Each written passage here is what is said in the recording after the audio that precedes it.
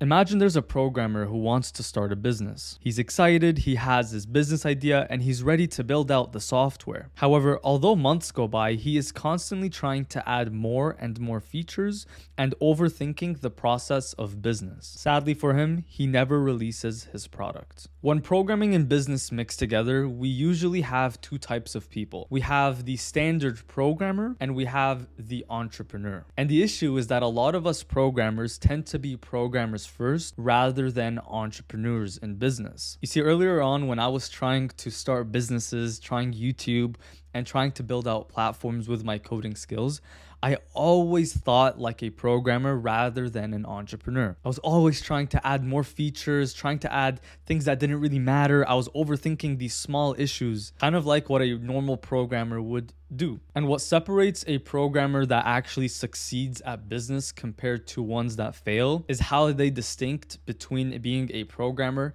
and an entrepreneur and managing both. You see, someone that's programmer first is always going to focus on unnecessary features, solving programming problems, and spending most of his time throughout the business's life coding. On the other hand, someone that is an entrepreneur first will focus on things such as marketing, sales, as well as coding. And although he, the entrepreneur is also coding, the programming is not the end all be all of his business. And rather than me being an entrepreneur that was focusing on finding the right market, talking to people about my business idea, trying to focus on sales and trying to improve how I was selling my product, I was always focusing on the product, product, product, and wasn't really being a regular entrepreneur. And although you could go far as a, just a programmer, you will go 20, 30 times further if you start focusing like an entrepreneur. And so right now you have two options. Either you can stay like a Gilbert and simply just be a programmer and be very average at business, or you can get a little bit uncomfortable, be like Aries who we want to be like,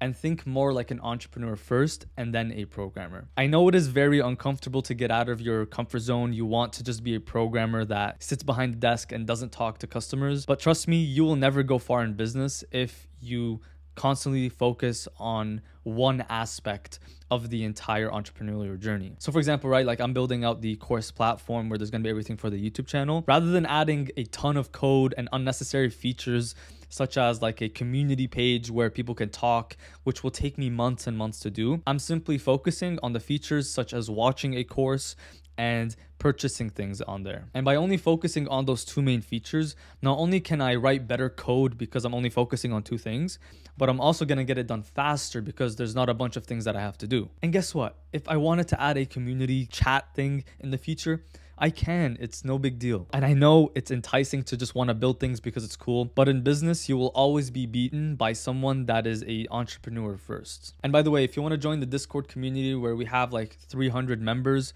where we help each other out with coding bugs, uh, have opportunities like business and job opportunities on there, and just talk and help each other solve bugs, then I'll leave the Discord link in the description below. Happy coding. Thank you so much for watching. I love you all, and I'll see you in the next video. Bye bye.